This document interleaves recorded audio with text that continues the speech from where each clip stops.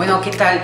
Yo le voy a presentar un breve resumen de la, del cuento que se, eh, se titula La Paraguaya. La Paraguaya es del libro Sangre de Mestizos del autor del autor Augusto Céspedes, el cual nació en Cochabamba en 1904 y falleció lastimosamente en La Paz 1997.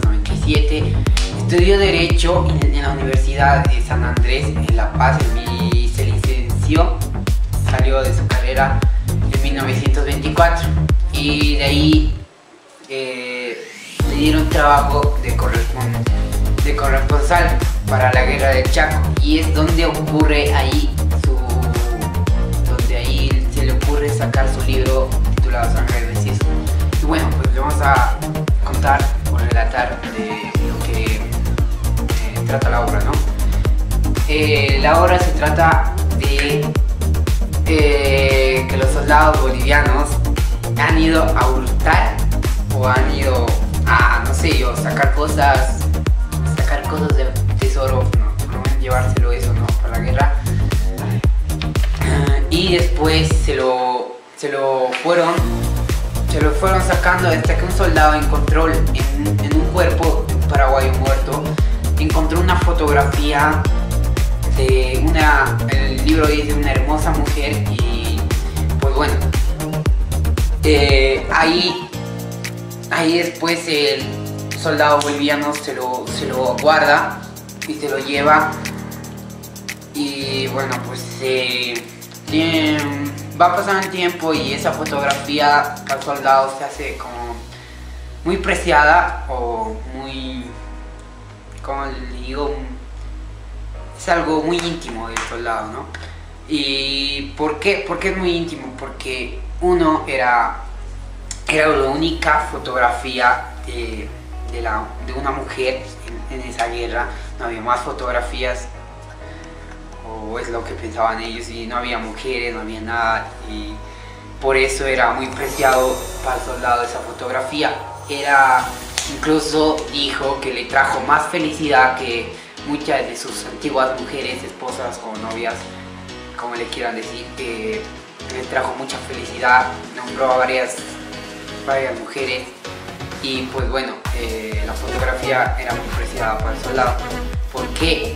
Segundo, era ¿Por qué era apreciado? Porque esa fotografía era su esperanza, su, ¿cómo se puede decir? La luz al final del túnel, se podría decir. Era muy apreciado esa fotografía para el soldado. Bueno, tiempo después va pasando el tiempo, eh, el sujeto o el hombre, soldado, eh, practicaba con la fotografía, llegó a esa tal desesperancia de practicar morbosidades, o sea, como masturbarse con la fotografía y demás. Y pues bueno, tiempo después pasando en, una tarde de una tarde pues bueno era los soldados paraguayos le atacaron al soldado lo mataron. Y un soldado paraguayo otra vez se lo agarró la fotografía y ahí acaba el cuento. Bueno los valores que podríamos calcar de esta obra de este cuento sería la esperanza. La esperanza, como ya les dije hace un momento, era la fotografía, era la esperanza del soldado.